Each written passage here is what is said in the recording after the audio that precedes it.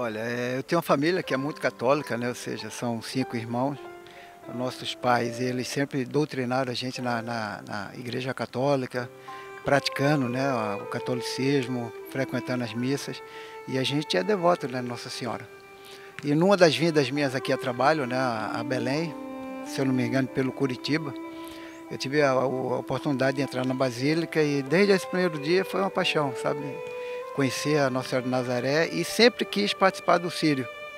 E hoje eu estou aqui dirigindo o Remo, né, uma grande equipe do futebol brasileiro, e podendo participar dessa grande festa católica do Brasil.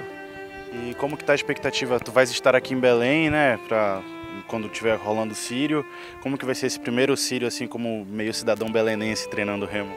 Olha, para ser sincero, estou muito ansioso, muito ansioso. A esposa está vindo também para participar, o meu filho também, ele está vindo também, então é uma coisa única, né? Ou seja, vai ser a primeira minha, eu acho de muitas, se Deus quiser e Nossa Senhora permitir, quero poder participar bastante. É, tu chegaste aqui abraçando o Sírio e a gente viu que tu recebeu um presente, também é o Sírio te abraçando, né? Como que tu te sente fazendo parte já da cultura paraense também? Ah, feliz, muito feliz, né? Foi um presente muito lindo, né? Uma imagem de Nossa Senhora de Nazaré, com a minha foto, dando boas-vindas, né? E a gente fica, fica assim, emocionado, emocionado porque fé é uma coisa que está dentro da gente, né? E a gente não pode abrir mão disso, ter Deus no coração, sempre participar ter Nossa Senhora como nossa mãe.